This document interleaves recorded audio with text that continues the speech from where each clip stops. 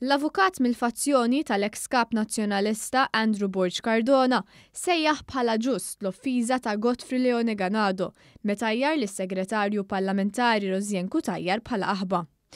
Borg Cardona qal dan il-Ħamis filgħodu meta kompla jinstema' l-każ ta' libell li fetħet Cutajar lill-artikolist tal-Partit Nazzjonalista Godfrey Leone Ganado.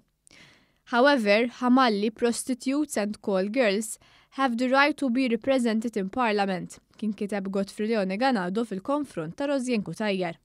Quddiem il-Maġistrat Rachel Montebello, Andrew Borg Cardona saħansitra wasal biex qal li dan l-insult għamel lil Rosianne Cutajar aktar popolari u m'għandhiex għalfejn tħossha mal-affamata.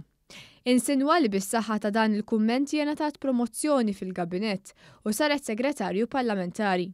Borg Cardona żied jgħid li b'dan il-kliem kienu qegħdin jagħmlulha pjaċir għax ħadet promozzjoni għal Segretarju Parlamentari fil-qasam tal-Ugwaljanza. B'reazzjoni s-Segretarju Parlamentari Rosianne Cutajar qalet li dan id-diskors huwa skandaluż u juri l-insensittività kbira u d-disrispett kbir lejn il-mara u d-dinjità tagħha. Hija wegħdet li fil-pożizzjoni l-ġdida tagħha ta' Segretarju Parlamentari ser tiddedika l-ħin kollu tagħha biex tkompli taħdem favur id-dinjità tal-bniedem, tal-protezzjoni ta' persuni vulnerabbli u tal-ugwaljanza. Is-sentenza dwar dan il-każ se tingħata fl-24 ta' Marzu.